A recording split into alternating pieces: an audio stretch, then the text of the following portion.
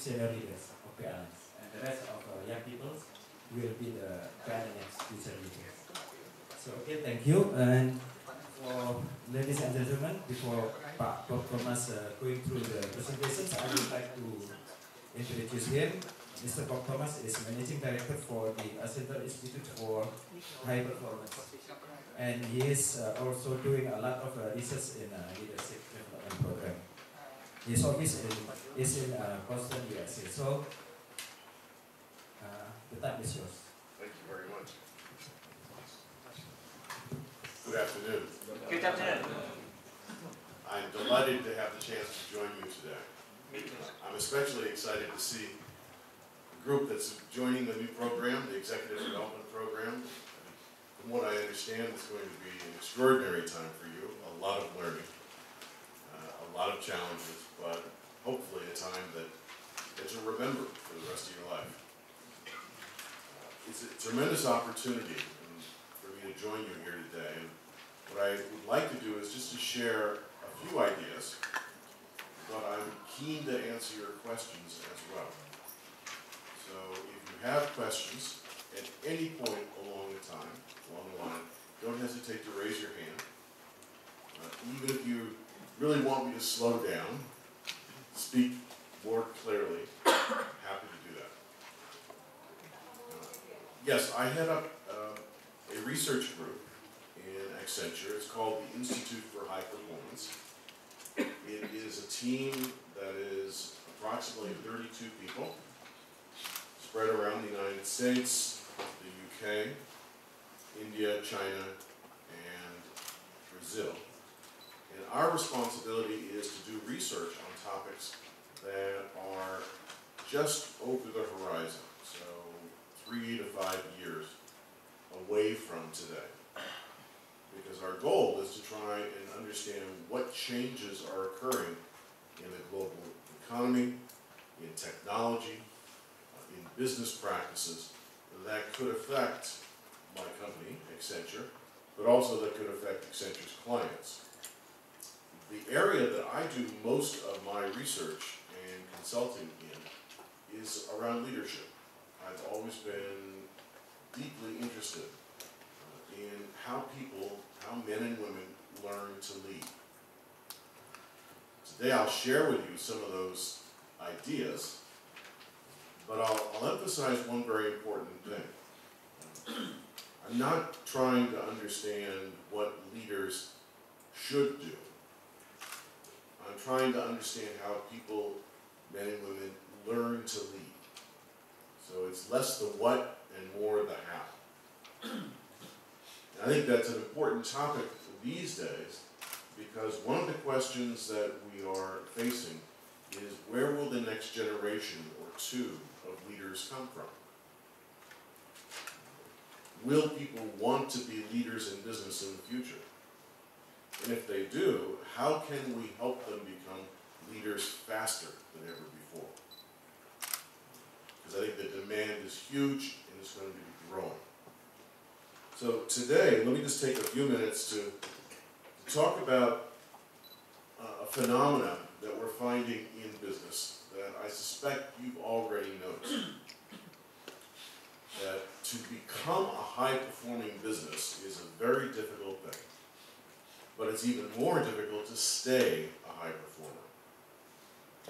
That if you look at the, the average lifespan of companies that have been uh, top performers, it's getting shorter and shorter and shorter. Part of the reason for that is that competition is emerging from different places. Business models that are truly competitive are emerging from a wide variety of places around the globe. And therefore, the idea that you could remain a high-performing business, a dominant business, simply because of a core technology um, is no longer uh, a sustainable idea. That technology and competitive approaches are changing rapidly. So even if a company may think it's a high performer, and 65% of the companies that we've interviewed, surveyed, think that they're high performers, less than 25%, more like 20% actually are the high performers in their industry. It, it's a, a, a, sort of like the phenomena that one finds in, in families. Everyone thinks their child is beautiful. Yeah. The dilemma, of course, is that they are beautiful and not so beautiful no one wants to tell someone else that their child is ugly. Now, that said, uh, the reality is that the fortunes of companies can change very rapidly. And I think you've seen that occurring around the world. That's why one of the things that we've been very interested in uh, is what enables a company to become a high-performing company and what enables it to remain. The institute that I lead, called the Institute for High Performance, uh, is built around research on companies that not only outperform their peers, but outperform their peers over changes in technology, over changes in leadership, and changes in business conditions or business cycles. And what we've discovered is that the truly high-performing companies are ones that are able to move from one product or service to another in a timely way. what I mean by that is to say that you're all familiar with the idea of an S-curve, whether it's in a product or a technology. Those who get started early usually get a benefit of being able to uh, receive disproportionate profits because they entered a market with the right idea at the right time. But if they are successful, lots of others will come into the market as well. Uh, and as others come into the market, the benefits associated with being in a given technology or a product begin to erode, be diminished, uh, and eventually the, the industry will plateau. So you have a, an S curve. What's interesting is that high-performing companies are able to work across multiple S curves. They don't get stuck on one and then wither and die. They are able to move across them. So the question we asked is, is why are some companies able to move from one winning product or service to another while others get stuck? Well, this research that we've been doing has over the course of the last 15 years focused a lot of, uh, focused a lot of attention on what leaders and talent in organization add to high performance. So I'm going to suggest to you that one of the things that we've come to discover is that it's not just having new technology that matters. It's having the right talent, the right leaders, and the right capabilities that makes a huge difference in the organization's ability to remain a high performer. So among the, the, research that we've done has been work on analytics, the use of analytical tools, to increase the quality of decision making uh, on human capital strategy, particularly the decisions about what kinds of skills to invest in and when, on leadership development, but particularly on how to grow more leaders and then ultimately on organizational networks, particularly the network um, of the networks that give rise to innovation, um, to talent retention, to the creation of new ideas. So what we've discovered over the course of the past oh, seven or eight years is that talent matters, leadership matters in ways that many people never realized. We've always known that it's important to have leaders in your organization, but what we've discovered is that the leaders that really add the most are learning, adaptable leaders. Not just people who have a style that they use over and over again, but leaders who are capable of, of adapting to changing times. So one of the things that I'm going to be encouraging you to be thinking about is what are you doing to keep yourself alive, learning, eyebrows raised in surprise, because those are the qualities that will make you an effective leader throughout the course of your career. What I want to do is to, is to share with you right now just a, a brief video that comes from work that we've been doing with Unilever. And Unilever, you know, is a, is a global products company, fast-moving consumer goods company, probably best known for its Dove's, Dove soap and Lifebuoy soap and a variety of other um, personal care products. Well, Unilever began about 18 months ago um, to, to ask itself, what kind of leaders do we need for the year 2020? Unilever has set for itself a very ambitious agenda of growth. It wants to double its revenue between now and 2020. It wants to become an 80 billion euro company in that period of time. It wants to reduce by half uh, its carbon emissions. Uh, and it wants to dramatically increase its contributions uh, to the social betterment of women and children, particularly in rural uh, economies. So in order to do that, they had to go back and rethink, well, will our old model of leaders get us to 2020? And if not, then what do we need in the way of new leadership skills or competencies going forward? So this video captures some of their thinking. Uh, it captures some of the best ideas of business school faculty and deans from some of the most prestigious business schools around the world. And it culminates in five attributes that Unilever thinks are going to be essential for it as a company in the future.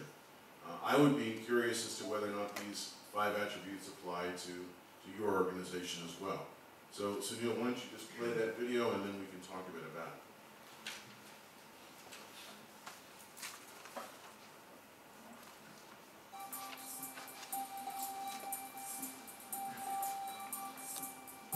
the authenticity is the underlying, the wellspring from which everything flows. So knowing who you are, having a clear purpose. I truly believe from purpose to impact is the real challenge now.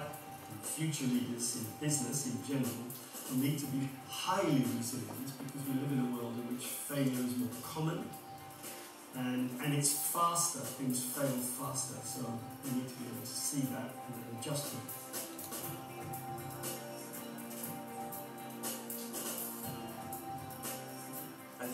capacity to have a deep sense of cultural curiosity and empathy for people in whatever market you're in, uh, and not try to impose your dominant paradigm from your home market or the corporation's home market on other people, which has been the traditional method of globalization.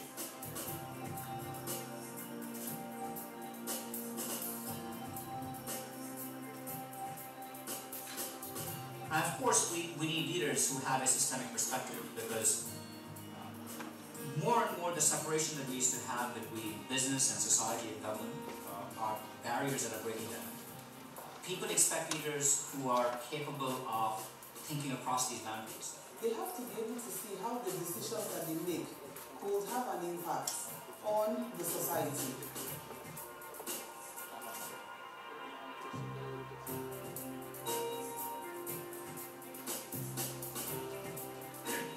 Got you here won't even keep you here.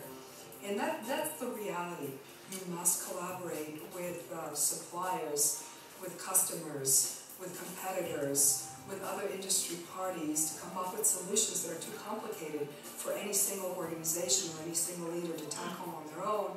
I think in this 21st century, what we need to do is essentially abandon uh, a lot of the assumptions that we were making as to how the world works.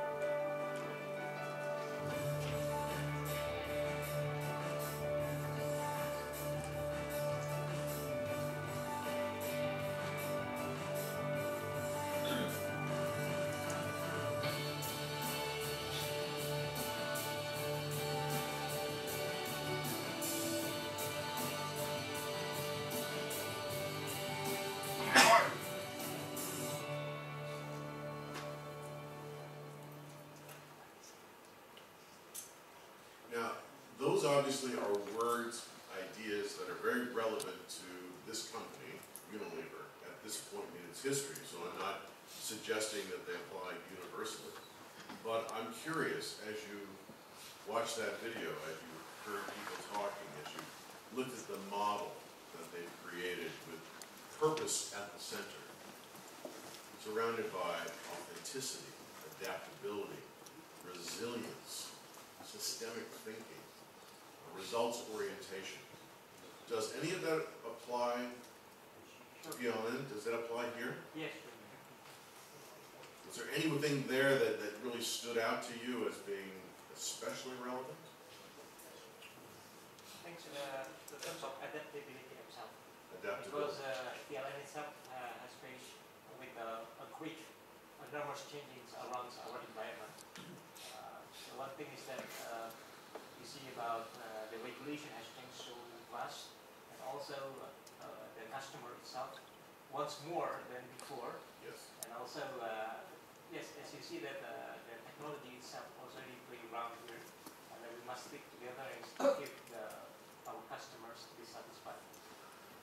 Very good. You know, this, this notion of adaptability is, is hugely powerful. The ability to learn, to learn faster than your competitors, and especially for leaders to learn. It's a challenge in many ways because in traditional organizations, you climb the ranks of leadership and become increasingly convinced that you know everything. And that's exactly the wrong conclusion. Because the reality is that your responsibility increases to know more, to be open to learning new things. One of the things that I try to encourage senior executives to be worried about is how can they bring the future into the room? How can they bring the future into their decision making?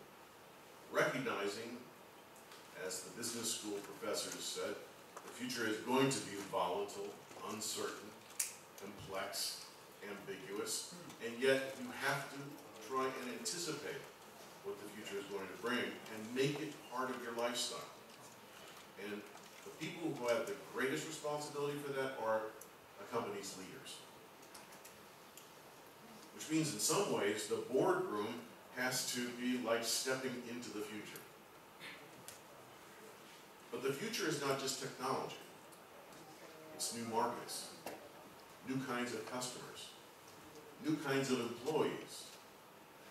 So that one of the companies that I've had the, the honor of working with, the, the Tata Group, the Tata Sons in India, Tata Chemicals in particular, which is a remarkably interesting company, one of the things they've said is we need to bring new countries into the room as quickly as possible.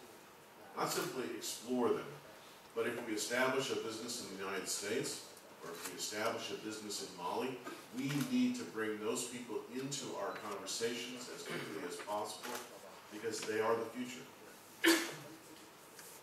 One of the things that I have found fascinating working with companies like Unilever, the Tata Group, Mercedes-Benz, Pacific Gas and Electric, the FBI in, in the United States, currently with the World Food Program as well, is that people are convinced that adaptability, the ability to learn quickly, is going to be a success factor in the future. Which is one of the reasons why I'm delighted to be here, because here you have an institution that's dedicated to learning. But I think one of the things I would challenge you always to be thinking is that learning is not an easy thing to do.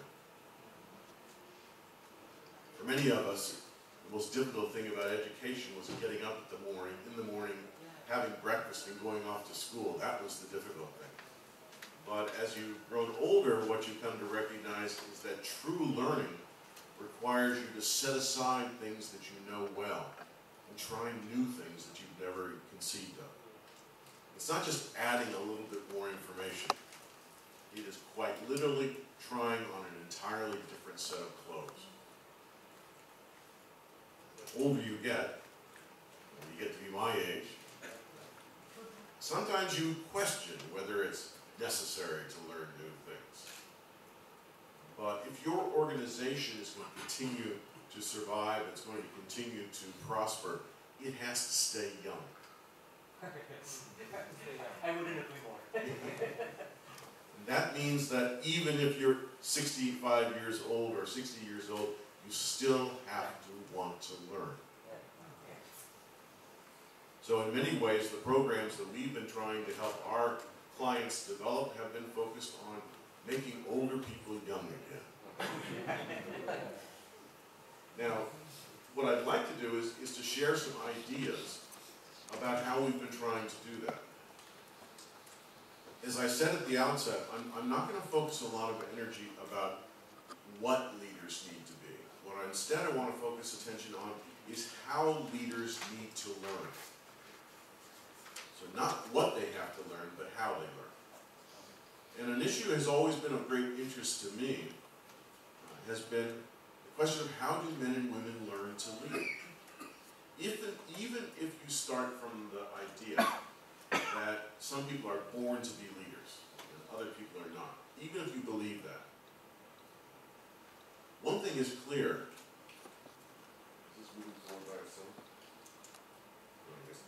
One thing is clear.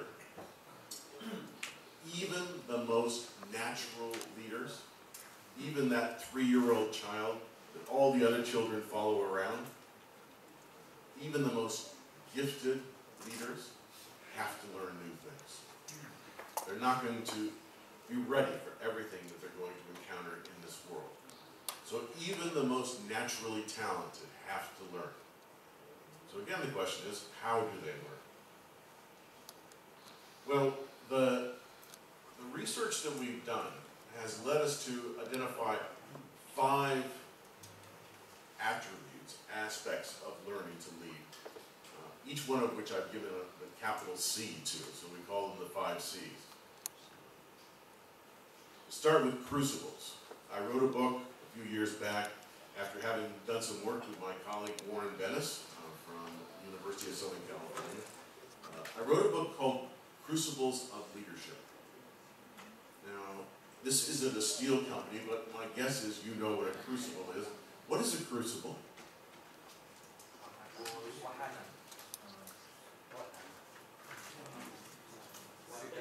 Hmm? It's it, yeah, but, but in in in steel making, in metallurgy, in chemistry, what is a crucible? Yeah, it's it's something that you molding. Thank you. It's something that you pour liquid metal into. So a crucible is something that is remarkably strong, remarkably durable, but it holds something very precious. So we use the idea of a crucible to say that there are times in people's lives when they learn important lessons about leadership, lessons that stick with them for the rest of their lives. You know, what was interesting to me is I, I began doing research with accomplished leaders of all ages, in business, in government, in religious organizations, in sporting organizations. And I asked a very simple question. It's a question I would encourage you to, to ask yourselves. I would ask, can you tell me about a time in your life when you learn something important about yourself as a leader? Not about leadership in general, but about yourself as a leader. And over the course of the past 10 years, I've probably done 600 interviews with people from all different walks of life all over the world. And what's remarkable to me is that no one has ever said that they learned their most important leadership lesson in a business school. And quite often they don't even mention work. People talk about moments in their lives when, for example, uh, they lost a parent at an early age or they moved from one neighborhood to a new neighborhood and suddenly found that they had to establish themselves again. Or one young woman told me a story about going from being a student of karate to being uh, an instructor of karate. The interesting thing is that these lessons are very powerful to individuals. So for all the experiences that you have, just a few will teach you something very important about yourself as a leader. So we began to say, well, interestingly, if that's what people tell you about as the times in which they learn something important about themselves as a leader, that doesn't mean we abandon business school. That doesn't mean we abandon training. But we do somehow have to bring in personal experience outside of work as well as inside of work as data to be used. Now, the reason why I think these crucible experiences are so important is that in many ways what they do is that they teach you that you have to change your behavior. So you may deny that you're leader. And I've had lots of people who are very modest, very accomplished, but very modest, say, I'm not, I'm not really a leader. But if I ask them the question, tell me a time you learned something important about yourself as a leader, they always have a story to tell.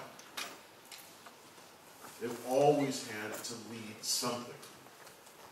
You may not think of yourself as a leader, but you've had to lead something in your life.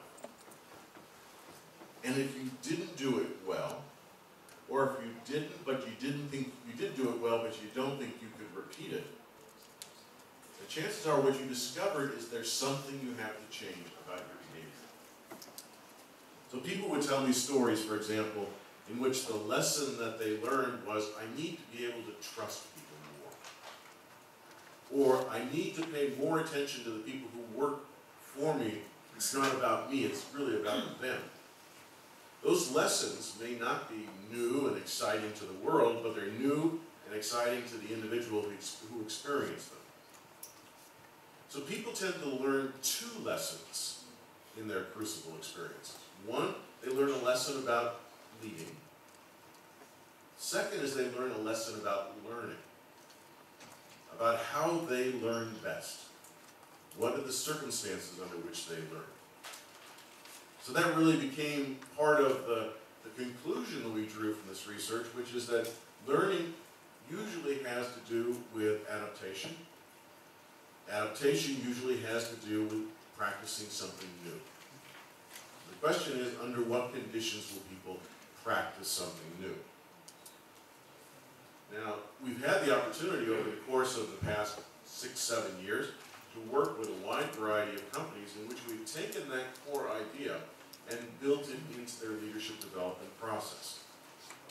Doing things like action learning projects, creating action labs in which people take their insights about how they learn and apply them to the way in which they're attempting to do, to do new things at work. We've created things called practice fields.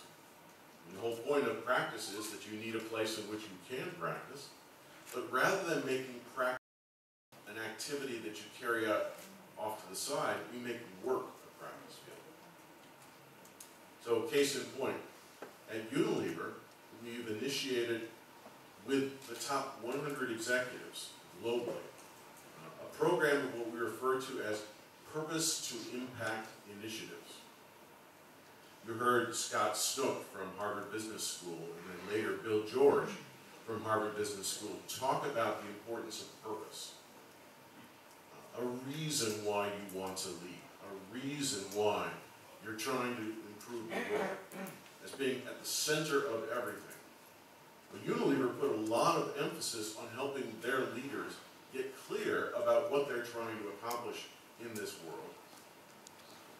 But now they wanted to take it to the next level, which is to say, it's not enough that you have a clear sense of what your purpose is. It's not enough for you to be an authentic leader. You also have to have The second wave of the work that we're doing with Unilever has to do with practice, but on a, on a very large scale. They're introducing new products into new markets. They're introducing new ways of doing innovation. They are, in effect, building the new company at the same time that they're building the next generation of that the initiatives that they're undertaking are really the next generation of company called Unilever. And it's all built from this set of ideas, our observations about how it is that people learn, how they learn to lead. The second thing we learned, second C, is that if you're going to practice in order to change your behavior, you have to be committed to practice. Now, does anybody in this room play a musical instrument? Yeah? You don't have to play it now, but does, any, does anybody play a musical instrument? Do any of, do any of you play badminton? Badminton? Yeah, any of you play golf? Be good at anything, but anything that is not natural to you requires practice. The problem is that most people quit practicing before they see results. They're too impatient. And I'll give you a personal example. Um, I think this past month I started my, my 12th weight loss campaign. Yeah, sure. Because I always quit before I see results. so the problem for many people is that they will attend a marvelous seminar. They'll go off to a training program. Read a, a truly inspirational book. And in that moment, they will commit themselves to change. And then, unfortunately, life intervenes. They get busy, they get diverted, other things occur. It doesn't feel comfortable to practice in the middle of, the, of a working day. People ask you, what are you doing that's different? And over time, the commitment is erased.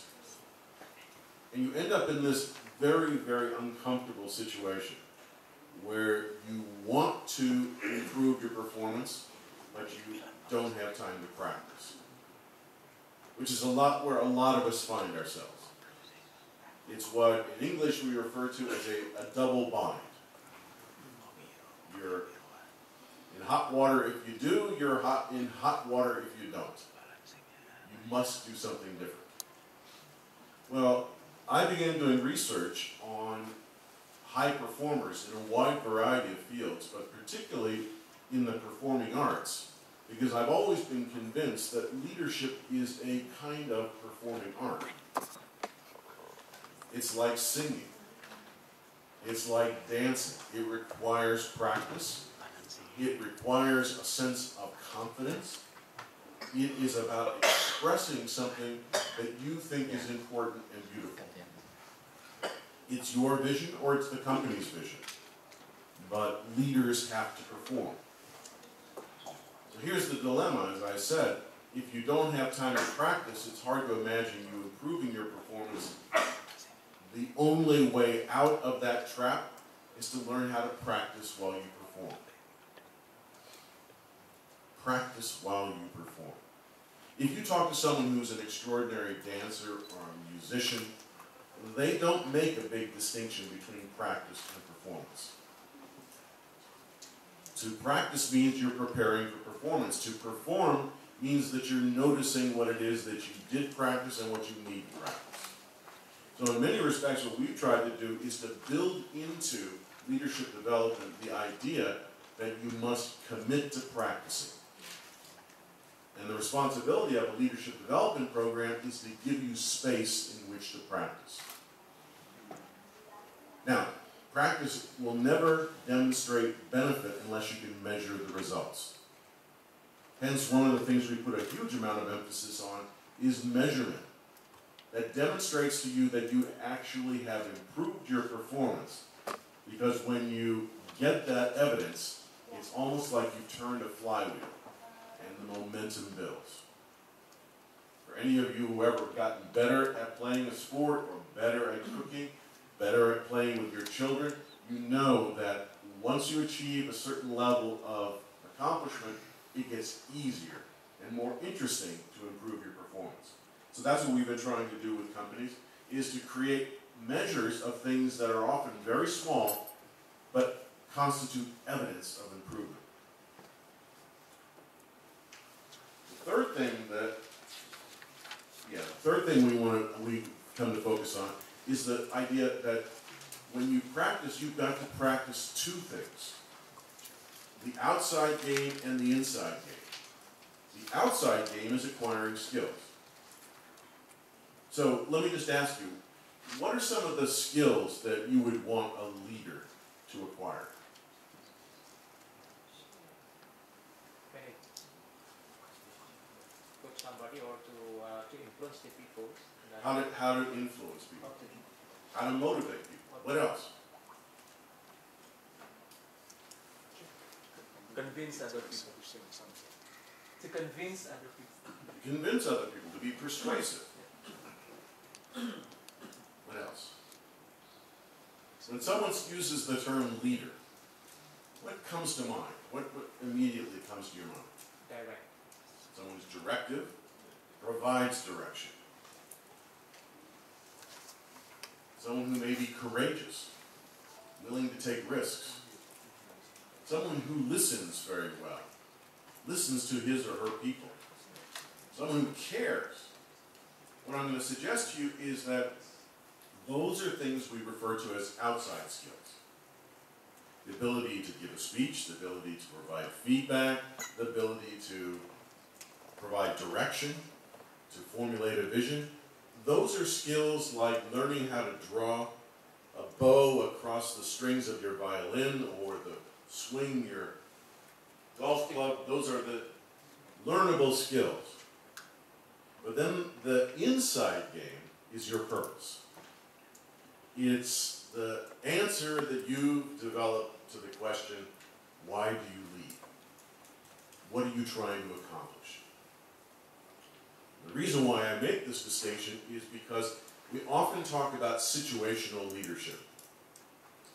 That is being able to read situations, understand what's required to deliver the right skill or the right idea or the right direction at a given moment in time.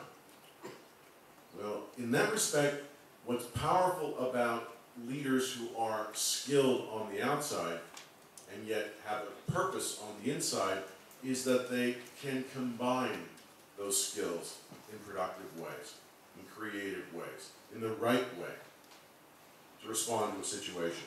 So, among the things that we try to do is to encourage people to develop their skills, but also to develop their inside skills, their inside game. Which is the point that Unilever was making about what is your purpose? Why do you want to lead? What's your vision of the future? We've created that as a set of opportunities inside of leadership development programs, uh, both around the concrete competencies that an organization expects of its leaders, but also around the maturity of vision that one would hope that a leader would have. Fourth C is coaching. One of the interesting things that we learned in our interviews with older and younger leaders, leaders in very different businesses, is that people rarely learn alone. Almost invariably, there's somebody else there. May not be a teacher, may not be a mentor, but someone like a boss, a good friend, who simply points out to you there's something important, important happening here, pay attention to it. That there's an opportunity for you to learn something in this moment of stress, in this moment of trial, in this moment of test. Learn it, notice it. Or someone who afterward, perhaps even months afterward, helps you make sense of the experience that you've had. And again, not a mentor, not an expert necessarily, but someone who cares enough about you to help you learn. And that's really what a coach is. It doesn't have to be called a coach, but someone who will help you arrive at an understanding of something important that's happened to you. Uh, excuse me. Yeah, go ahead. Just just uh, want to know uh, how is the effectiveness of coaching? Because uh, usually uh, we can develop if we explore ourselves, uh, if we learn a lot by ourselves. But coaching, uh, how effective coaching? Well, people will learn in very different ways, and some people don't need a coach. Uh, however, the value of a coach is that it's he or she is is like someone sitting on your shoulder uh, and periodically asking you questions. Questions about is this something that you really ought to learn? You've said you want to accomplish this. Are you really accomplishing it? It's a combination of both a reminder and a conscience, but also someone who really cares uh, that you achieve the goals you've set for yourself. So the effectiveness, well, we've done research in various places on the effectiveness of, coaching and came to discover that particularly when you compare 360 performance reviews from one cycle to the next, people who have been coached demonstrate real progress uh, against the areas that, that are their challenges or, or are their weaknesses. Statistically more effective with a coach than without a coach. It's still an area where a lot of research needs to be done, but I find it fascinating that, that um, of all the fields within leadership development, the one that's growing fastest is coaching, both in terms of revenue and in terms of the number of hours spent. Uh, I think that when you have people like Eric Schmidt, who was up until recently the CEO of Google, saying publicly that I've, in the last 20 years I've had a, a coach and he has made it possible for me to take on challenges that I would not have taken on without a coach. That kind of affirmation is, is hugely powerful. For those of you who, who watch golf, or, you know, I'm a big Tiger Woods fan from, from many years back. Uh, and Tiger used to be used to speak uh, as a spokesperson for Accenture until he ran into trouble. Yes, yes, yes, Uh, but Tiger Woods, arguably one of the best golfers in, in recent memory, to this day has two different coaches. One for his swing, and the other is for his physical development, his physical well-being. So someone who is absolutely at the top of their game still has a coach, that tells me something very important. So what we've tried to do is to say, well, coaching shouldn't be an expensive undertaking. Instead, coaching ought to be built into what leaders do. So that arguably, leaders need coaches, but the people who work for leaders need coaches too. Which is one of the reasons why, with the Tata Group, for example, in India, we've spent a significant amount of time developing a program that we call Captains to Coaches. Indian uh, business people in particular love cricket, and so anything that has to do with cricket is a great story for them. And the interesting thing about moving from being a cricket captain to a cricket coach is that you, you leave the pitch, you no longer play, but you still play an absolutely critical role in strategy, in developing the skills and competencies of other players. So quite often, captains become coaches.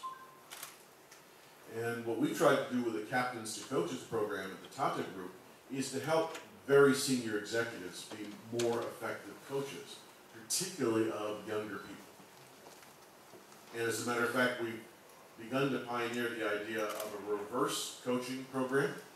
You may have tried this yourself, PLN, where we pair young people with much more senior executives, and they work out an exchange. The senior executives will be a leadership coach, and the younger uh, employees will be a technology coach. And teach them how to use all these new things like Twitter, Facebook, and like. And it's remarkable the way that works, that exchange. But one of the things we've also discovered is that many mentoring programs fail because we're not dedicated enough to training people how to be effective mentors. We often assume that simply because you're, you have gray hair, that you've learned things that you can teach other people. That is not a guarantee. Gray hair guarantees nothing. but equally important, we also have to train mentees or proteges because a good protege can make a average mentor into a much better one by the questions that they ask, by the attitude that they adopt.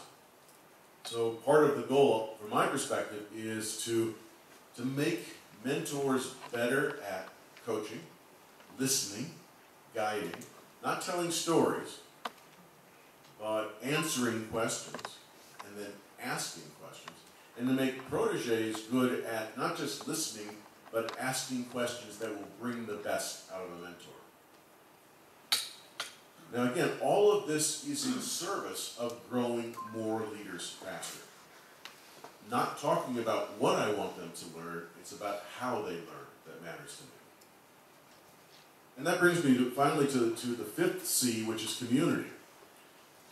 We often think of leadership as a very lonely activity an individual leader facing a challenge.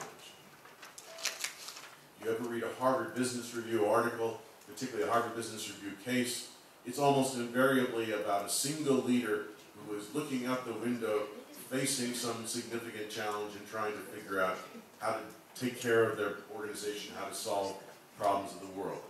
Well, in fact, what we believe is that if you are successful at growing leaders, you'll create a community of leaders. And that community of leaders will grow more leaders faster.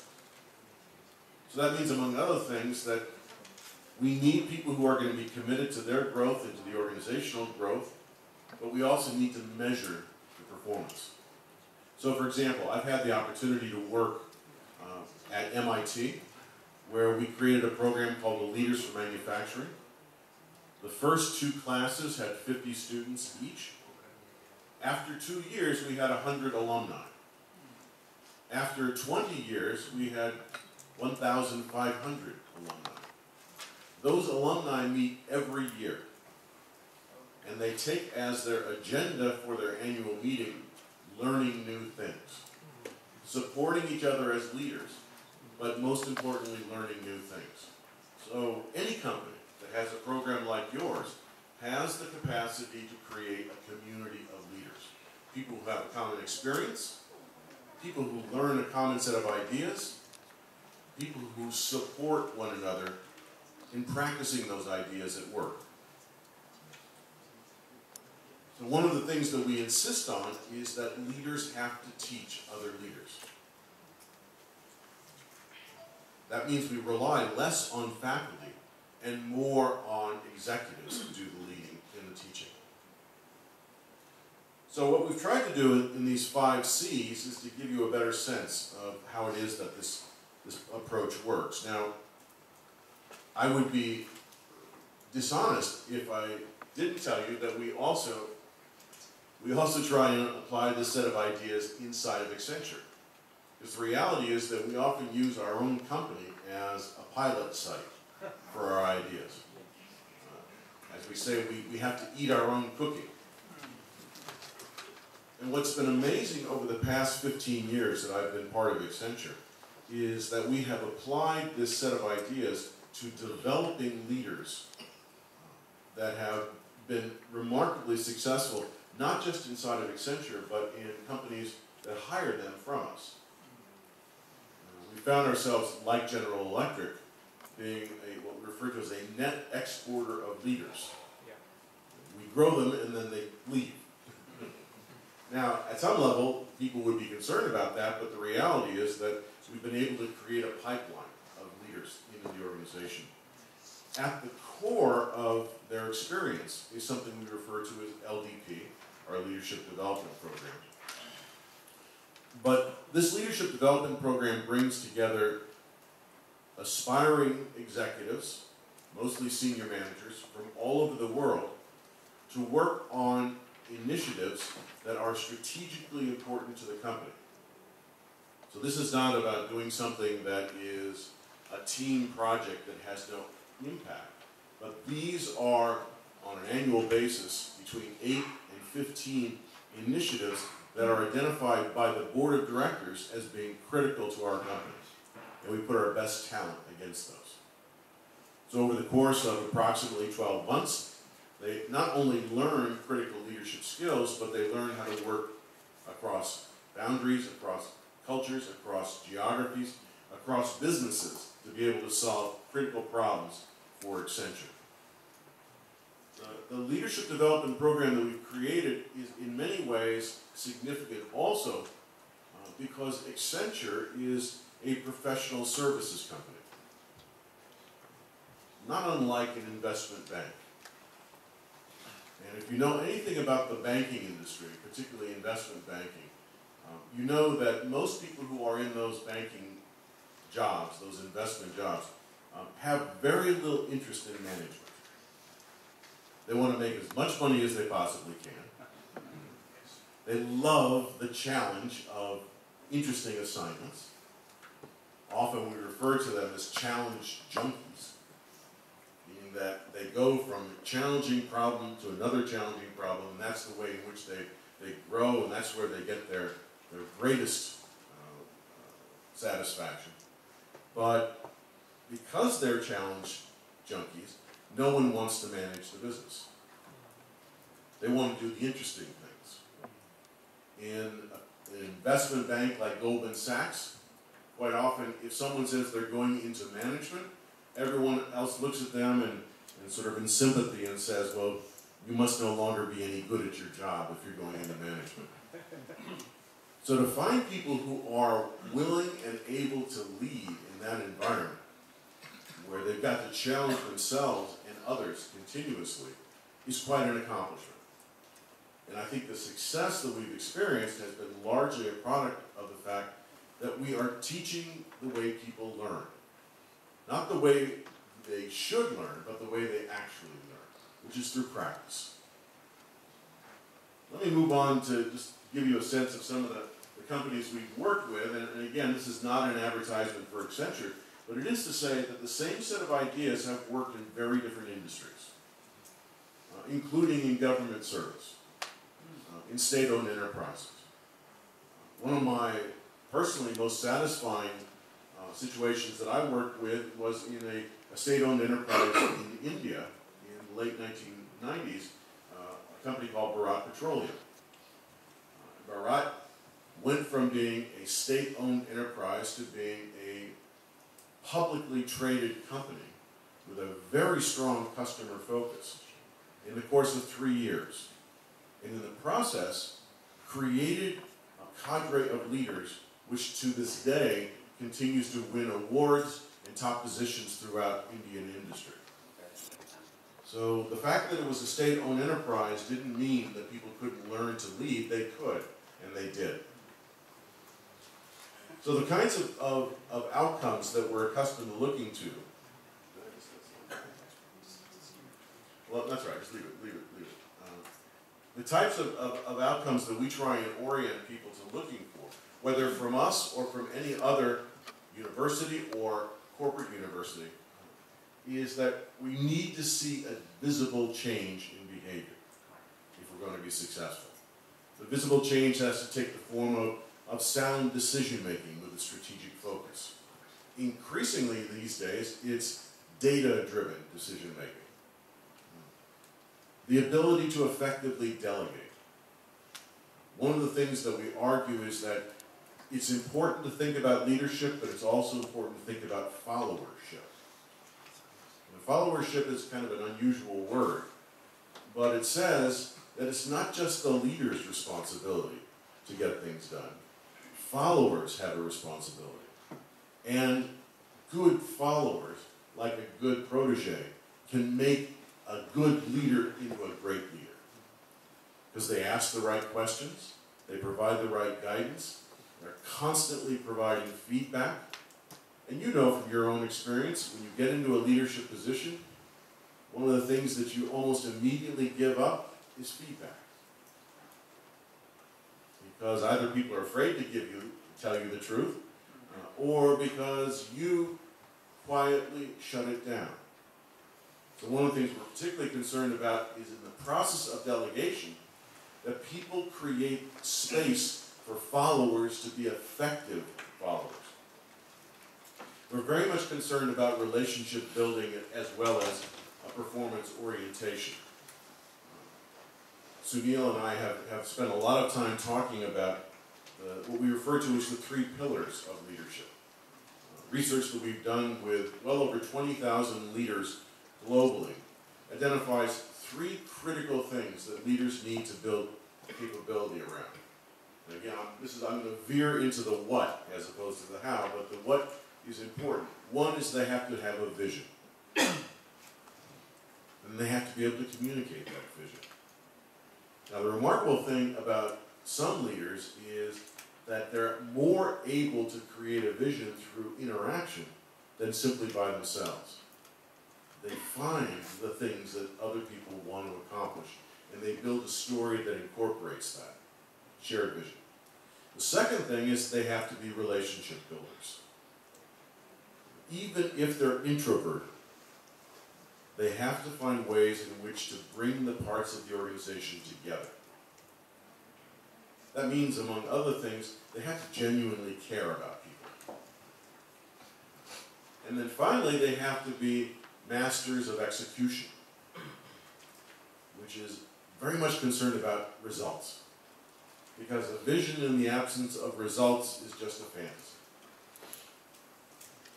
Relationships in the absence of results is just a club. And therefore, the challenge for many leaders is if they're not equally good at those three things, they either have to practice or they have to surround themselves with people who complete them. And finally, we, we try to encourage leaders to have the resilience to make change. One of the things that the, the folks at Unilever have emphasized as being important for the future is resilience. One of my favorite quotes from General George Patton, who was a, a legendary figure in World War II, he said, Success is measured by how high you bounce after you hit the bottom. How well you bounce back from failure. That's what success is all about. And someone who has not failed doesn't know what that means. So resilience, as it turns out, is, is not simply can you dust yourself off, get up, and try again. But can you create that capability in the people around you as well? Because, as we know, we look forward into the future, companies are going to have to be far more experimental than ever before with technology, with go to market strategies, with ways in which they create products for their customers, which means that they're going to fail much more often than ever before. But they've got to fail and come back. And that's why I think, in some respects, the big lesson from our research in high performance business has been that high performers fail and bounce back. It's not like they're uniformly successful. They do fail, but they bounce back. The same has to do with leaders. What we also know is that leaders in the future are going to need to have differentiated skills, functional skills, business skills, cultural skills and capabilities. They need to understand their industry and their industry dynamics. You know that. They need to understand their business. But the challenge is going to be that many businesses are changing. The boundaries between businesses are changing. I do a lot of, of research on new technology, which I'll describe briefly in a moment. But one of the things that we found through working with companies like General Electric and Siemens and a, a variety of others is that electrical utilities, power generation companies, are going to find themselves changing dramatically the way in which they operate uh, in the not too distant future. Why? Because of the availability of data. The fact that sensors will be ubiquitous, they will be everywhere.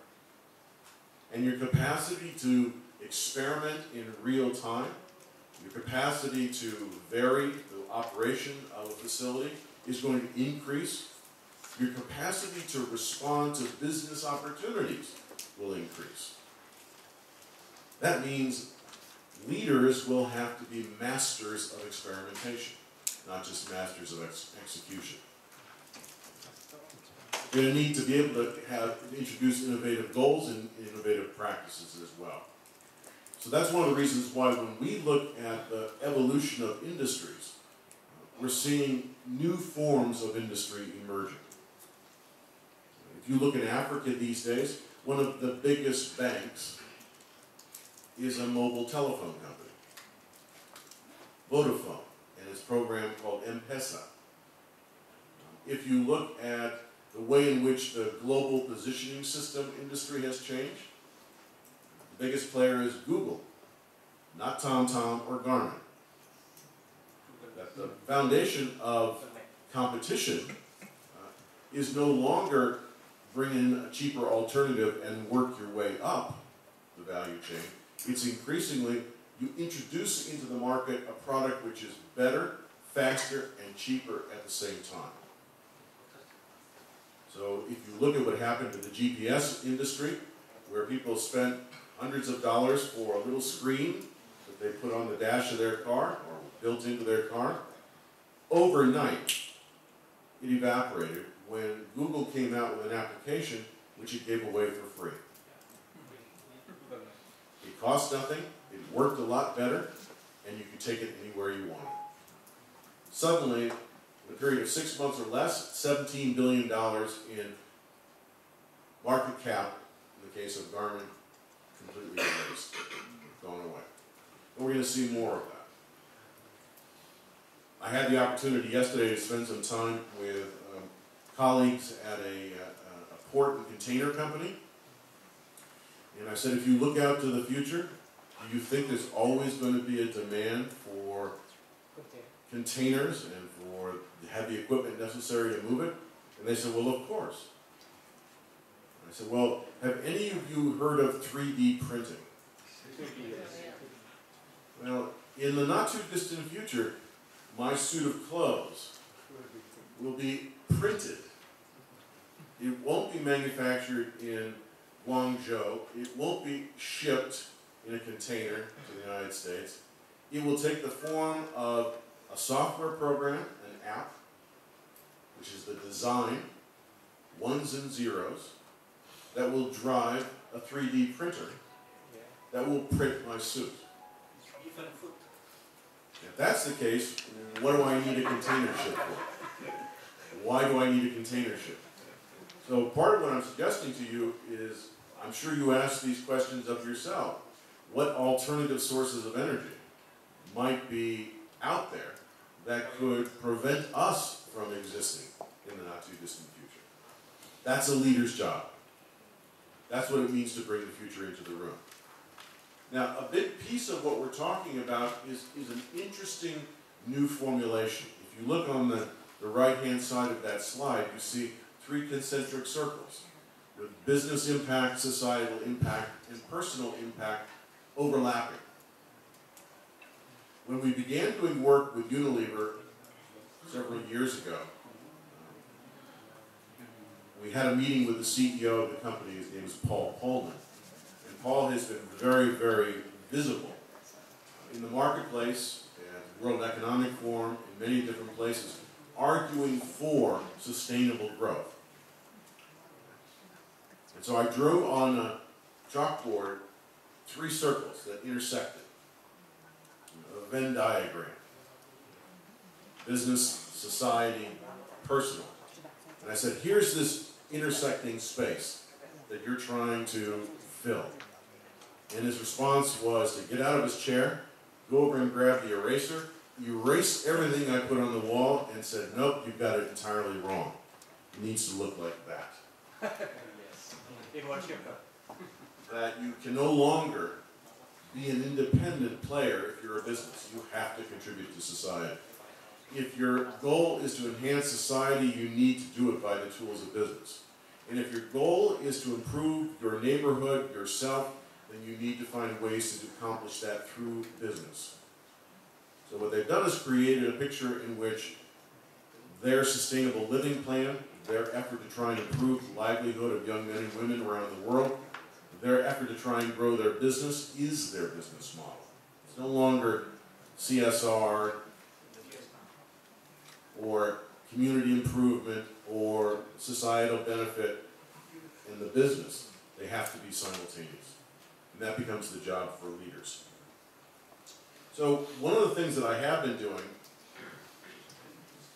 one of the things I have been doing, one of the bits of research that I've been doing, that I want to just share with you, and I'll come back to it in a moment, uh, is some research on what changes about leadership in a world that is so thoroughly dominated by new technology. Thoroughly dominated by new technology. Mr. Thomas. Yeah, yes. Okay. Before we come to the, the new slide that you are going to give, I, I would like to ask a, a, a questions about things that is quite important for the business nowadays. As you see about the coaching, a part of the what Mr. Rawan asked just now, is I would like to to see about the, the real words of coach here and the practice amongst the success company. Okay, could, could you share a little bit about the, how uh, the companies such as uh, Unilever's or General Electric in doings or in practice the coach from one uh, superior to the, to the pullovers and something like that. Because in my opinions, uh, nowadays because of so, as you think, so much competition and then so much the orientation that we want to cover, sometimes we don't have a time for that. Okay, thank you. Well, it's a, it's a, it's a very good question. It's a question that, that was asked many, many times in, the, in the early days of all of our efforts. And it was interesting, what, in the case of the Tata Group, for example, uh, Ratan Tata, who was recently retired as, as the uh, chairman and managing director of the Tata Group, uh, was, was looking forward to retirement, he was looking back on his career, and he told us that the one thing he regretted most was that he hadn't spent enough time developing the next generation or two of leaders. Now, he said, look, we have a leadership succession program. So we have a pretty good sense of who, what the talent is and, and where they are and what experiences they've had. Um, but he said, I'm not talking about those people. I'm talking about the people who are going to be our leaders 20 years from now. He said, now I can't tell you who in this room is going to be leading this company 10 or 15 or 20 years from now. He said, but I know that that person is probably in this room. Hope so. He said, so, so he asked the question, what are we doing to bring that person along faster? Because he looked at the curriculum of leadership development program, it all looked very reasonable. Uh, he looked at their plot, their process for moving and rotating people amongst positions. He said it seems very reasonable. But what he worried about was that the process of education was, in his terms, episodic. What he meant by that was you have a three-week program here, you have a two-day program here, you have a two-year rotation there. But the process of learning ought to be continuous. Because the kinds of things, and this is where he and I very clearly agreed, as, as well as uh, Mr. Gopal, Krishnan, who was his, his, his right-hand person when it came to this. The thing we agreed about very directly was um, that people have opportunities to learn every day. So under what conditions can we help them learn every day? Well, the research that I've done had come this, to this conclusion that people rarely learn alone. So what you need to have is individuals and a community which are dedicated to learning. So this now comes to the issue of how do you get busy executives to be effective coaches? We sat with 20 of the top executives at the Tata Group, and we asked them, what do you think you can do to grow leaders more effectively? Because you're not leadership gurus, you're not specialists in the field, but what you've learned over the years are some skills about how to identify effective and how to help bring them along. What are you capable of doing? And a number of them said, you know, one of our biggest skills, if we're smart, is we listen.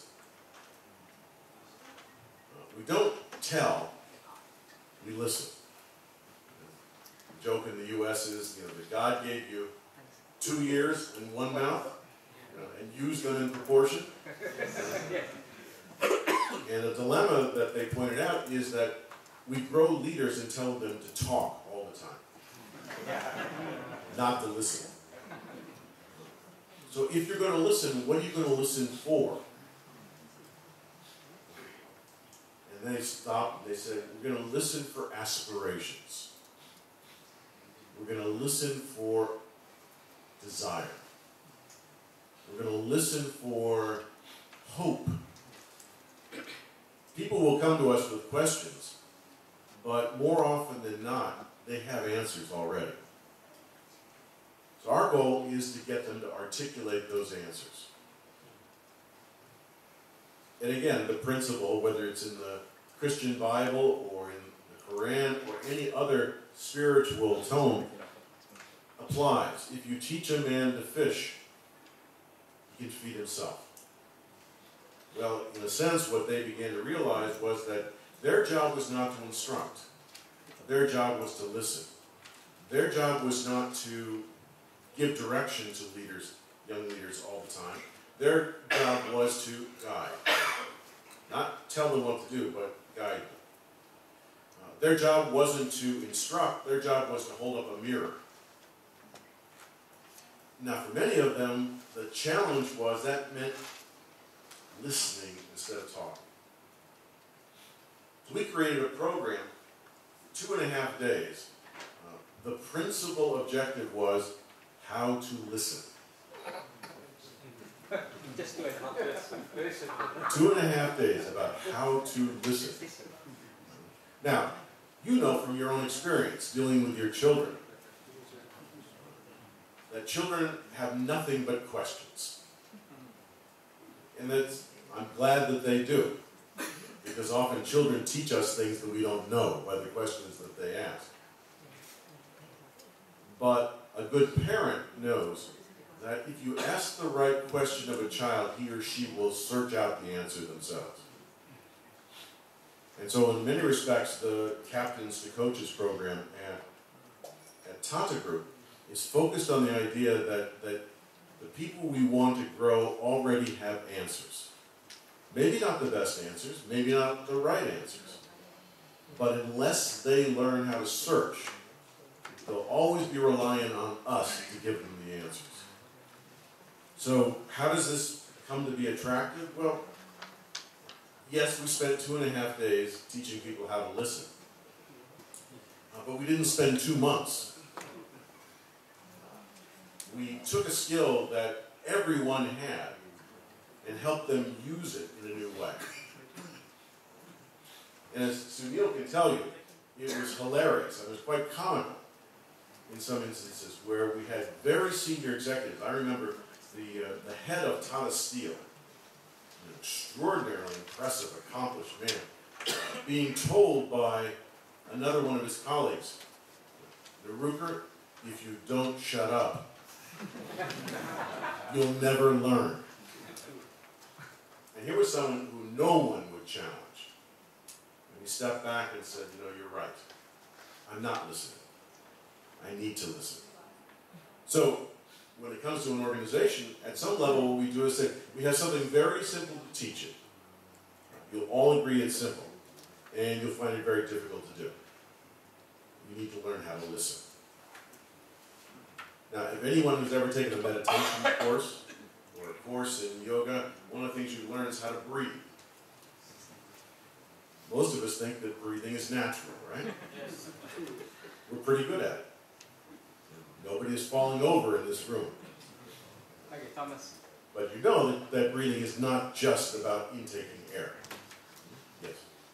Uh, since uh, we are discussing about leaderships, I'm, I'm just uh, curious uh, about uh, the three leaders, uh, Richard Branson as the CEO of Origins, and also the Tony Fernandes, uh, Air Asia, and in, our country, uh, Rusdi Kirana. I think those three leaders uh, are quite special because plane or aircraft business is uh, uh, needed huge investment. But how come uh, they can decide, uh, oh, this is the right business they have to, to take? Because back to uh, your presentation here, the, characters of leaders comprising of adaptability, result-oriented, resilience, authenticity, and the last is forgot. So, uh, how those three leaders apply this in, in their development? Because I think those three leaders are, are, are very brave entering uh, the plane industry.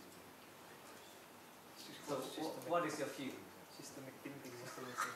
Well, I, I, I well, you know, if, if I, if I knew, if I knew, I would be investing in, in those people. I would not be spending my time with you. But I, but I have, I do have a view on that. Uh, most really accomplished leaders um, don't know how they do what they do. They don't. Uh, you know, they, there's a another fellow in the airline industry who was a, something of a legend in the United States by name by the name of Robert Crandall, Bob Crandall, and he ran American Airlines for many years, and he was the one who introduced super saver fares. You know, you, the longer pay, I mean, you pay before you go to your trip. The further out the trip is, the less you pay, et cetera, et cetera. He introduced loyalty programs, frequent flyer miles, and that sort of thing. And I once asked him, I said, uh, Bob, how did you learn to do what you do? Because you, you seem to make the right choices at the right moment in time. Um, how does that work? What, do you do? Do you go off into a room by yourself and meditate? Do you? do you, uh, How do you do this? And he looked at me and said, I have no idea. and, and I said, well, but you do it repeatedly, so you must have some idea. And his response was, honestly, don't know. So I said, okay, well then let's let's let's talk about something that you really enjoy doing um, outside of work. He said, okay. I said, so what do you really like to do when you have free time? Said, I love to sail my boat. Oh, okay. I said, so when you first started sailing, were you really good at it? No. He said, I sank my first two boats. I said, well, that, that could have been frustrating. He said, it was very frustrating. I said, so what did you do? He said, I got somebody to teach me how to sail. I said, was that pleasant? He said, no, I hate having other people tell me what to do. He said, but my vision of myself sailing out on the open ocean was strong enough that I decided I'll stick with it. So he learned how to sail, he got a, a new boat, and then he noticed that other people had crews of other people who were sailing bigger boats. So he could sail his boat by himself, but he didn't have a crew, and he wanted to have a bigger boat. So he signed up to be a crew member on somebody else's boat. and he learned everything he needed to know. And I said, well, was that pleasant? He said, no. He said, because somebody was always telling me what to do. I wanted to be the one telling people what to do. He said, but I learned a great deal in the process. He said, then I got a bigger boat. He said, and then I began to realize that the people who really knew how to sail were people who gathered after their sailing and talked about the conditions under which they sailed, what the weather was like, how they read a map, how they read the wind. He said, I began hanging out with them because they could tell me things that I never would have understood when I started, but which I can understand now. He said, so I started building up a network of people who really loved to sail and sail in conditions I'd never encountered before. And I learned from them. And so I stopped him at that moment and I said, well, Bob, tell me, is there any similarity at all between learning to sail and learning to run a successful business for you? He said, absolutely. He said, but I never would have described my experience learning to run a business that way. But I never thought about it that way. He said, and it's very similar. So one of the things I'm keen to understand, particularly amongst senior executives, senior leaders, business people, entrepreneurs in general, is how do they read the wind? How, what are the things that they look for as indicators that there's an opportunity? And do any of you sail? A little bit, maybe? You know, one of the things that I, I find marvelous about sailing is that you notice the way the wind affects the water. And that gives you an insight as to where the wind is. So you look out across a body of water, and if you see the water disturbed, you know that the wind is blowing there. So you point your boat in that direction, and you move your sails in order to catch that wind. So in many ways, what he was telling me is that I read the market the same way I read the water. Now, again, that doesn't tell me uh, how he makes the decision to invest in this versus this. It does tell me the way he sails, and I think there's a great similarity between the two. Which is one of the reasons why I strongly encourage people to read autobiographies. Sometimes they're, they're you know, glory stories about how wonderful I am. But other times they will give you insight into the way people develop judgment. And it strikes me that, that that's the area where we need to work most when it comes to developing leaders, is developing their judgment, their ability to make choices, uh, to take chances, reasonable chances, and the way in which they learn from those. Mark, I mean, um, uh, Noel Tichy and Warren Bennis wrote a lovely book called Judgment. Uh, and what they do is they take instances of big challenges faced within companies like General Electric and Procter & Gamble and a variety of others, and they go through the history of a decision and try and understand why they made the choice the way they did. Now Tichy, Noel Tichy is a, is a kind of an engineer, so he likes to put everything in diagrams. I don't think that's the way the world works, but it's an easy way to represent it. And one of the things that Tichy argues is that leaders who demonstrate judgment actually have very rich personal networks. And I'll tell you a story that illustrates this. And unfortunately, Sunil has heard this story 200 times, but have any of you ever heard of a, a, a guy named Andy Fastow? You're in the electrical business, so you may have heard. You ever heard of a company called Enron? Oh, well, Andy Fastow was the, the chief financial officer for Enron. So he's kind of like when you're when you're doing illegal things, he's doing the most illegal things. Well, I interviewed Andy Fastow before he went to jail. Before Enron evaporated and he went to jail. Uh, and I wasn't interested in Enron per se. Uh, it was a company that everybody was writing about being a new, exciting company, and he was a new, exciting leader. I was interested in just understanding what people he called upon to help him make dif- difficult choices. Because that was a study I was doing in, in Silicon Valley and a variety of other places. So I asked him a question. I said, Andy, when you're facing something you've never seen before, to whom do you turn for advice? Reasonable question. He looked at me in the eye and he said, myself.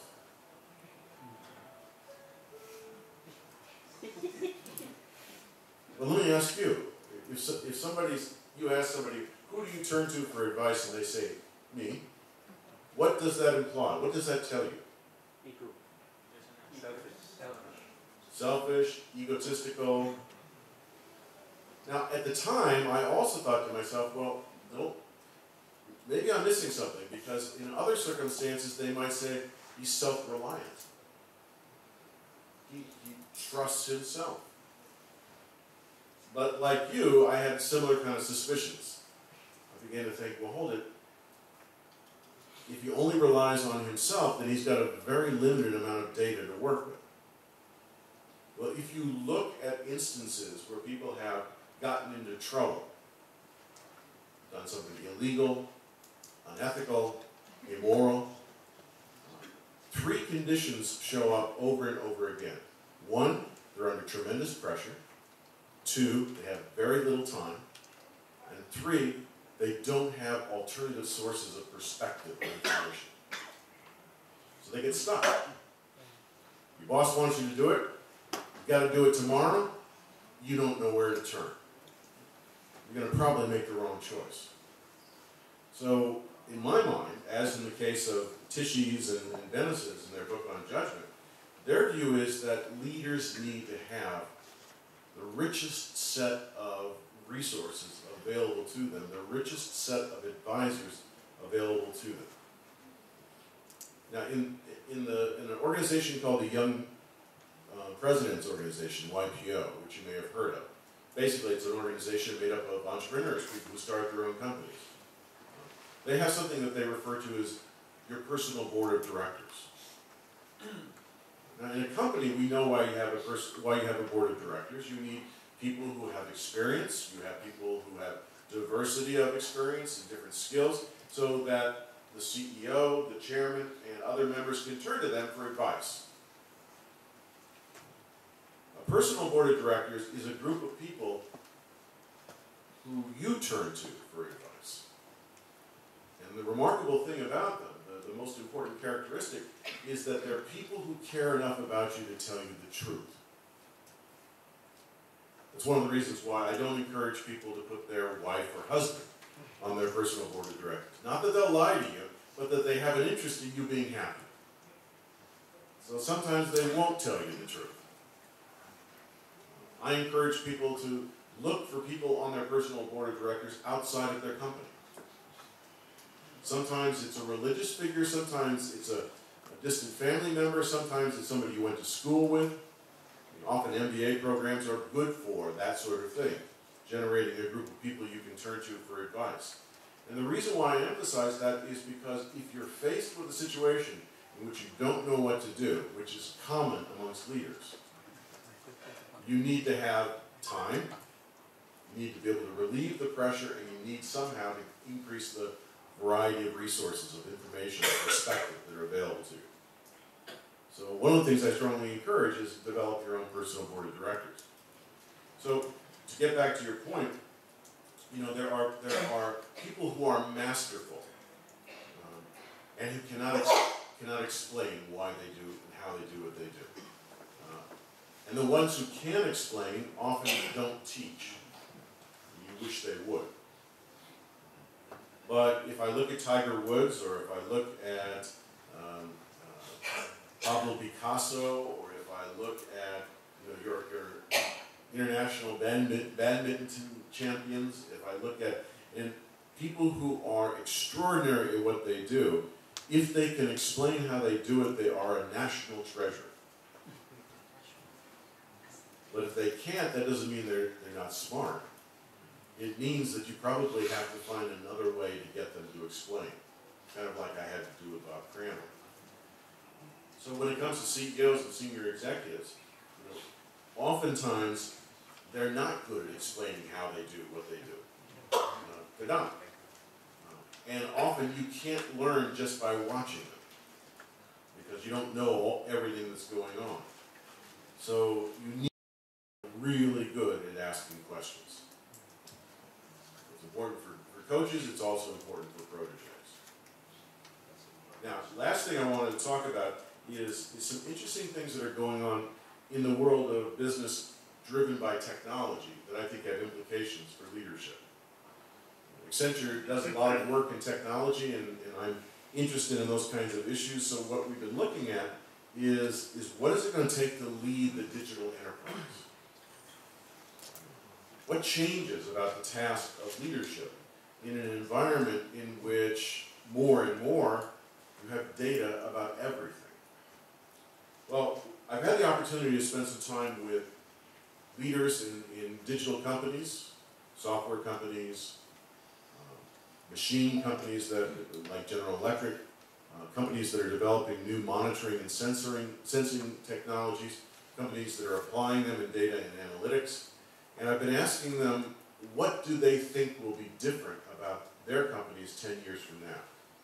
And what will be the consequences for people who lead those companies? And so far we've come up with four things that seem to be relevant.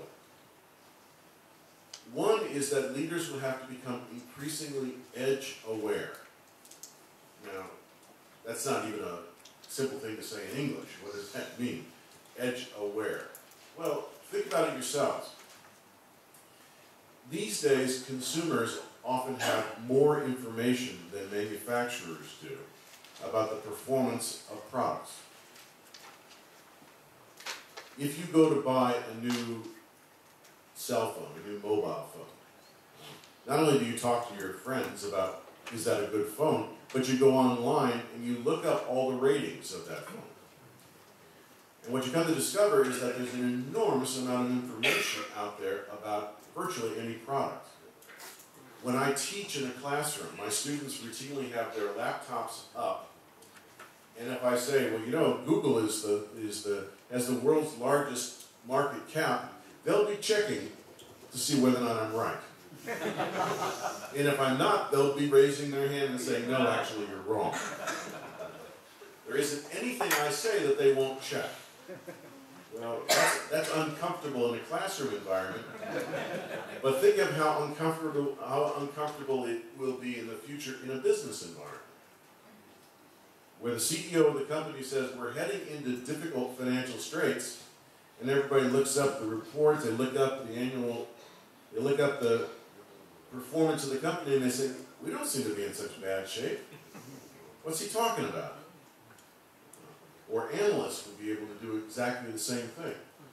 You know, we're finding this out from so many different places. I had the opportunity to, uh, to spend some time with the managing director of Al Jazeera. You're familiar with Al Jazeera, the television network. And Al Jazeera was for many years fed all the information they got from various governments in the Middle East. They were funded by the government of Qatar. But in the Arab Spring, all that evaporated, and suddenly Al Jazeera didn't have any news. But they believed themselves to be legitimate journalists, so they had to find alternative sources of information. And if you recall the reports that were coming from Tripoli and from Lebanon and from Jordan and from Egypt, where were those reports coming from? Who was providing the news? Do you recall? People with mobile phones. They were providing the video, they were providing the commentary, they were providing all the information. Suddenly Al Jazeera found itself in a situation where it had to source news from an entirely new place. So when I talk about edge aware, I'm talking about organizations in which more and more of the information will be available outside the organization than ever before which means that leaders are going to have to delegate responsibility in ways that they haven't. The data that's available to them will allow for decentralization of decision making. If you look at convenience stores like 7 Eleven, uh, increasingly choices about inventory are made at the level of the store, not centrally. But the business model that brought 7-Eleven into being was we have one central buying organization and we ship everything out to these franchise stores. But one of the things they discovered was that there was a lot of money to be made by stocking locally relevant products, but they wouldn't do it because it made the procurement process all that much more complicated. But nowadays, with electronic ordering and visibility into their inventory, both for the franchisees as well as the suppliers, they are dramatically diversifying the number of products, not paying more in the process, and generating huge, huge increases in revenue by selling the things that people want in their neighborhood. They don't lose the economy of scale, but they, gap, they garner, they get the benefit of being able to do niche marketing. So what I'm suggesting to you is that the availability of data is actually going to drive decision making further out from the center to the edges, including in your business as well. So that means leaders will have to be much more aware of what's going on at the edges of their organization. Second is that they're going to have to be far better at synthesis than ever before.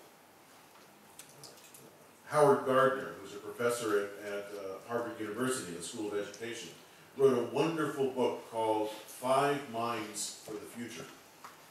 He's basically saying that, that in the future we're going to need to have five very different ways of looking at the, at the world in any organization if it's going to be successful. And one of those minds, he argues, is the synthetic mind. People who are capable of bringing together very different kinds of information and finding patterns. So you talk about data mining, you talk about any uh, set of activities that have to do with using multiple streams of data, that is going to become increasingly important in the future. We work, for example, with the FBI, the Federal Bureau of Intelligence in the United States. The FBI is probably one of the biggest users of data in the world. But that data takes many, many different forms. It has to be synthesized to become usable. Well, increasingly, leaders are going to have to be able to synthesize information. Third thing is that they're going to have to be authentic. Now, I use this pairing of words. In English, they're almost opposition to one another. Synthetic and authentic. Synthetic often means artificial. Authentic means real or connected to origins. But leaders will have to have both set of skills to be able to synthesize information and to be authentic, meaning sincere, to have a clear purpose. And they'll have to be sincere and truthful and have a clear purpose because it'll be so easy to find out if they're lying.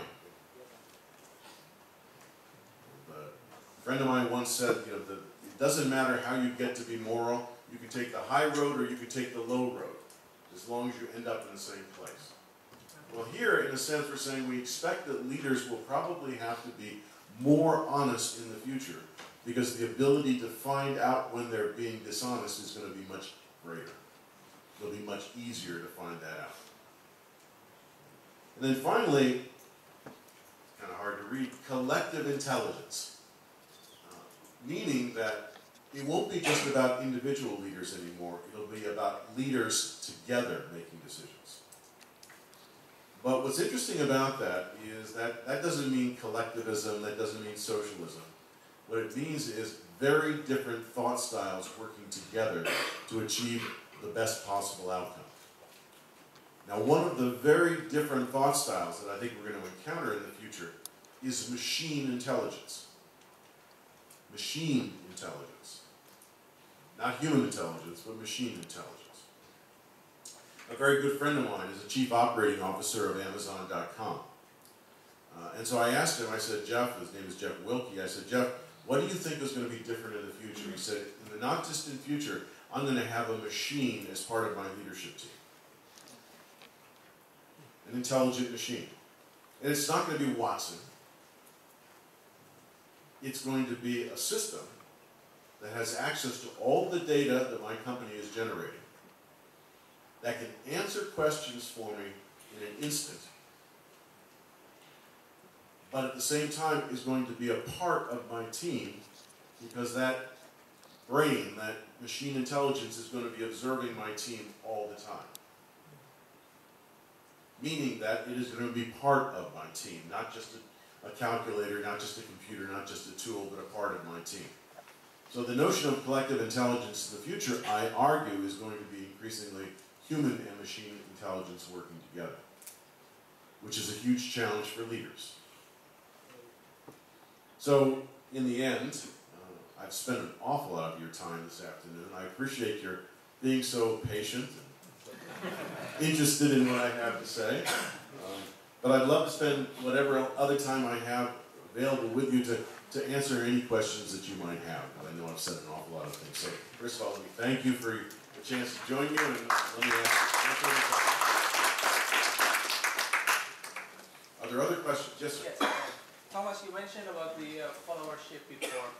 Uh, a couple years ago, I read uh, some articles uh, uh, that uh, tell me about how to create leaders by using followership program.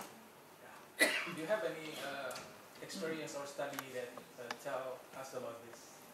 Yeah, the best article I ever read was an article written by a guy named Robert Kelley. Um, in the article, I think it was in the Harvard Business Review, but it was entitled In Praise of Followers. In Praise of Followers. And what he basically did is he said, look, think of, of followers falling into one of four quadrants. Um, one quadrant is, one dimension is, um, do they believe in the leader? And the other is, do they question the leader? And what he argues is that what you really need is people who believe in the leader and yet question the leader. Now, the challenge he put forward is that, therefore, leaders have to leave themselves open to being questioned. They can't be defensive. They can't be offended when someone asks a question because questions are really intended to provide correction. Not to challenge, not to debate, not to negate, but to provide direction. So what I think is, is absolutely critical is if you don't think you're getting enough feedback from your followers, it may very well be that you've never encouraged them to give you feedback. It is so easy to, to communicate defensiveness by simply adopting a stance which says, I'm not open, um, and then saying something entirely the opposite. Go ahead, ask me any question you want. Right? Signal's already there. Don't even try. So again, what, I, what I'm quite interested in is can you as a leader create a space, a time, a set of relationships in which people feel that they can ask you important questions. And if you are doing your job as a leader, um, they're in that quadrant where they follow you, even as they question you. That, to me, is, is a space that, honestly, I don't think we've done nearly enough uh, to try and explore or to try and train people. But the earlier question about coaching kind of points us in the direction of saying, well, if you're able to listen, then chances are you're able to receive feedback. Know, to my mind, that's always, you know, you've heard the phrase active listening. And one of the dangerous things about active listening is that you may hear things you don't want to hear. So, yes, I'm really interested in what you have to say, except for that. Other questions? Yes, sir.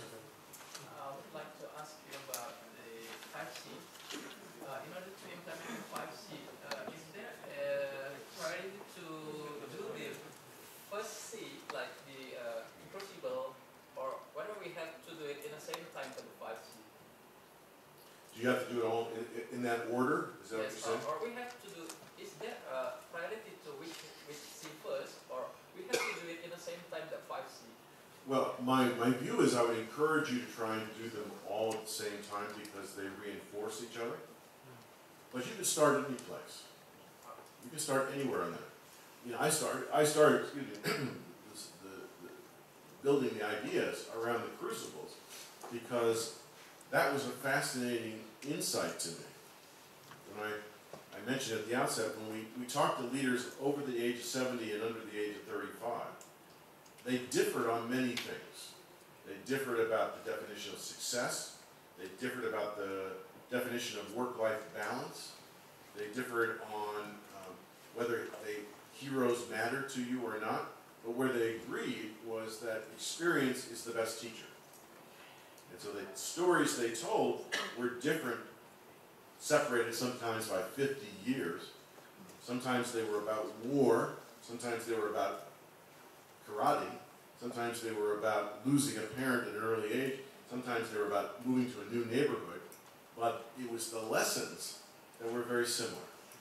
And the process of learning that was very similar. And, and that got me very interested because most of the time when we talk about leadership development, we end up talking about training. We talk about classrooms. We talk about curriculum. We talk about instructors. We talk about promote rotation programs and individual development plans. We don't talk about experiences that people have. And I started there because I began to realize that people have powerful experiences that never get raised at work. It's almost like you're leaving all this money on the table. Because, well, it's, it's, it's not about work, and therefore we can't talk about it. The reality is that that's where people learn important things, then they learn not just a lesson about leadership, they learn about how they learn. Which is one of the reasons why throughout this, the five C's, we're constantly saying to people, you know, we can do psychometric assessments, we can put you through an assessment center, we can do training programs, those are all very valuable things. But every one of us carries around knowledge of ourselves that will make the difference between learning and not learning, between practicing and not practicing. And that's one of the reasons why I always ask people, you know, tell me about something that you've learned to be really good at that has nothing to do with work. And people will tell you stories about learning extraordinary things. And you say, oh, well then you're already able to learn. You already know what incentives you need to have, what tools and methods you need to have. What we need to do is to take what you know and apply it at work. So, go ahead, why don't you join me? Sunil is my colleague and, and co-conspirator when it comes to these ideas. Just one thought on the 5C model, uh, when we are working with one of the clients in Indonesia, the structure that we adopted was we first went to commitment to say that we need to build that ownership, accountability for learning in the participants. So we first went to commitment, then we moved on to combination, which is to say that what's my inside purpose with the outside purpose.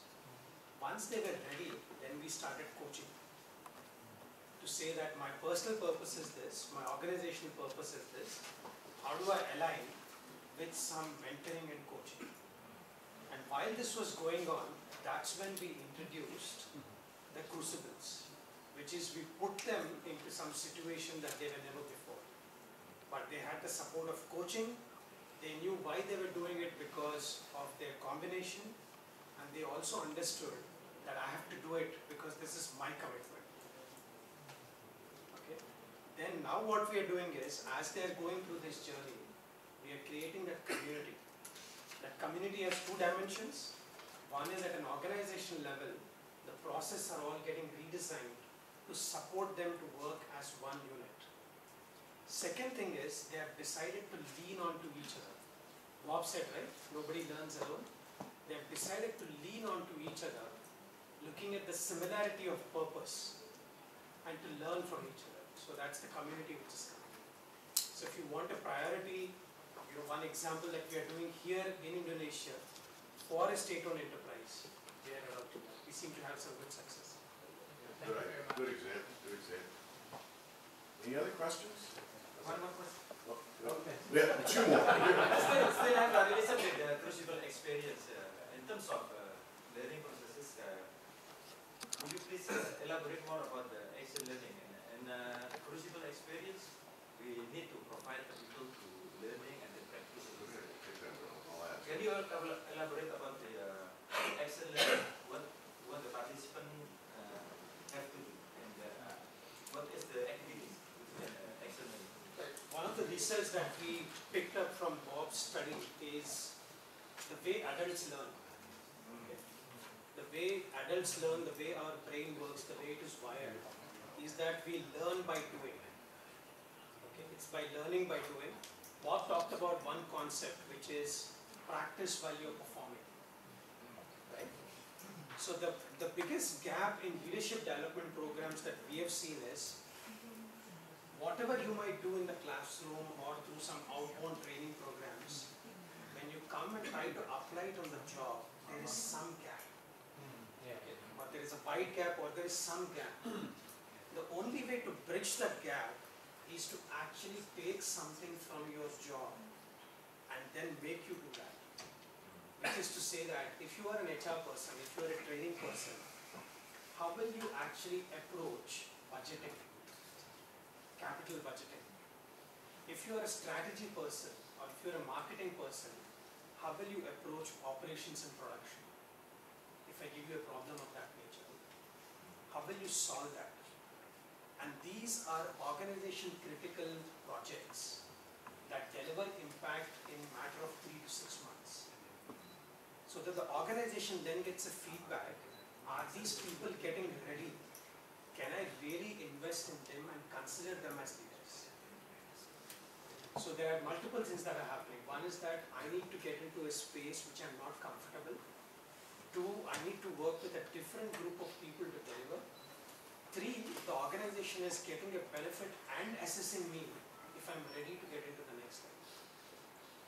So for example, in this client, the nature of the projects is that they have to develop one business case uh, for the merger of three, four companies that will be put up in front of the parliament in the next four months after the elections. So it is that critical a project that these guys have to do in four months. One of the other projects that they have to do is this company has acquired another smaller company. It is making loss. The challenge is to make, turn it around in one year and make it self-sustainable by 10% in one year completely different set of operations. How do you do that? And the most important thing about Crucible is they have to do this while they are doing their current job. Which means they have to learn to give up certain things. Delegation. So they have to plan, they have to structure their lives. They have to create a network of people who will do their job so that they can focus on this. It's a very interesting dynamic. The more you get into it, I think yeah. that's why Bob wrote a full book on it. I think we can discuss more and more about this as we. Also uh, interested in the crucible experience. In my opinion, it's crucible experience is very uh, expensive because uh, um, uh, although this is the best uh, feature in the experience, the best feature means uh, experience. No. No, not necessarily. What you say? What the, because of, for instance, from the Malaysian missing, we can learn experience. In my opinion, this is um, the most experience. Perhaps we can get the new leaders in Ireland, Ireland's uh, civil safety. What would you like to share to me uh, the crucible uh, experience of crucible leaders with the small money or the cheaper than? Well, the, the starting point for me always is people's own experience, and tho- their experiences are often, um, yes, they learned a lesson, it was expensive, but often not expensive in money, expensive in ego, uh, ex- expensive in pride, um, and, and you know, for many of us, that's a lot more important than money. So when we talk about the experiences, there, there are three types that, that we identify. One experience that, that's a crucible experience um, is not about failure at all. Uh, it's about surviving a new territory. For example, I recall uh, one um, one leader telling a story, and and he had become a remarkable turnaround artist. So basically, he, he, worked with companies that were failing and he helped bring them back. And so I asked him to tell me at a time about a, a time in his life he learned something important about himself as a leader. And the story he told me was a story about when he was in high school. Uh, he had uh, wanted to join a club. And it was a accepted club on, on in the high school campus. But they had an initiation that he had to go through in order to be able to join. And the initiation was that you were taken out into the forest in the middle of a very dark night uh, and left by yourself. And you had to find your way back to the camp by 9 a.m. the following morning. So even if you fell asleep and woke up at 6 a.m., there was going to be still plenty of light for you to find your way back if you could find your way back. Well, he was there at midnight, sitting all by himself utter dark. Literally could not see his hand in front of his face. And he started thinking, what if they put me on the edge of a cliff? Or what if I'm in a cave? Or what if I can't find my way back? And he started getting very upset. And he started crying. And before he knew it, and he's telling the story to me, he was in utter panic. Just was like a baby, inconsolable. There was nothing he could do to make himself feel better. He said he didn't know how long he cried. He didn't know how long he was in that panic. He said, but eventually he calmed himself down. So the one thing we want children to be able to do is to calm themselves. He felt terrible about the fact that he panicked. And in the midst of his panic, what he kept thinking was, that night he's going to be on the news. They'll have a helicopter overhead rescuing this 16 year old. He was going to die of embarrassment. So he was either going to die because he got lost or he was going to die of embarrassment. Either way, he was dead as far as he was concerned. But he pulled himself out of that panic. And the next morning, when the sun was up, it was very clear how he had to get back to the camp. But that night he learned two very important things. One, he's capable of panic, which is not something that he's very proud of, but it was important to know. The second thing is he was capable of pulling himself out of panic, which was equally important for him to know. And so I said, so what difference does that make in your life? He said, well, look at the business I'm in. I'm in a business where people are panicking all the time. It's my responsibility to help them deal with that panic. He said, I don't think I could if I hadn't known I was capable of the same thing. So, the reason I tell you that story is it, it cost him nothing. But he learned an extraordinary amount. That's something we refer to as being in new territory, a place you've never been before. And you discover how to survive. A second type is reversal, which includes failure. But some of the most powerful stories that people told us were stories in which they succeeded and they didn't know why. A fellow who was the CEO of a pharmaceutical company told me about the first team that he led in drug development, which came up with a, what in the industry is referred to as a blockbuster drug. I mean, an extraordinary drug that went on to generate billions of dollars of profit. And because he was the leader of that team, they quickly elevated him up in the organization. He was never able to repeat that success. And that became, for him, his biggest obstacle. But when he realized it was, well, maybe he wasn't responsible for that success. Maybe they just happened on to that compound. Uh, but what he learned was that even success can be expensive. Even success can teach you something very important about being a leader, particularly when you can't repeat it. That's a form of failure, but it's not a failure that costs millions of dollars. And then the last example, the last type we, talked about is what I refer to as, as um, suspension, which is probably not the most elegant word, but it's finding yourself in a situation where there is nothing familiar. This young man who was in the dark by himself ultimately found familiar things and pulled himself out of it. Um, but imagine being unemployed for five or six years.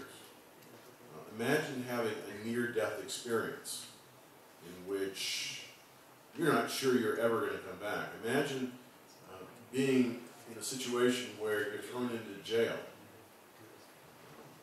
for political reasons. Uh, you have no idea whether you're going to ever be released. That's a huge challenge to you because suddenly everything you know has been taken away, and you need to somehow create a new set of handholds. Otherwise, you're going to just be falling in space. So each one of those kinds of experiences have the capacity to teach important things. But it's not the magnitude of the experience that matters. It's not the amount of money at risk. Um, it's what it means to you. Right? So this, this fellow who found himself lost in the woods, well, there was nobody else involved. There was no one else to experience it except him. The young woman who talked about her karate instructor saying, You've learned everything you're going to learn as a student. You must now be a teacher. Suddenly finding herself as a, a Chinese American young woman uh, brought up with a belief that she should respect her elders and pay attention to their words and to their wishes. Suddenly being told to tell people who are twice her age what to do and what they're doing wrong. Uh, and that change for her was one where she suddenly discovered this is a different world that I've moved into. So you and I may look at it and say, it's a small change. But for her, huge. So in a way, what Sunil has been saying when we talk about the kinds of experiences that people have, sometimes there's a lot of money involved. At Unilever, we're talking about growing a billion dollar business in two years. That's a lot of money to be at, at stake. But what's also interesting is that those guys are not going to fail. They will pull each other up and make sure that they are successful. So in that respect, I don't think that the crucible necessarily has to be expensive, um, but you do have to put something at risk. And chances are it's going to be your ego. Well, thank you. This has been a remarkably useful time. I've learned a lot. Thank you for that. And I look forward to hearing terrific things from this class. Uh, the next generation of leaders for.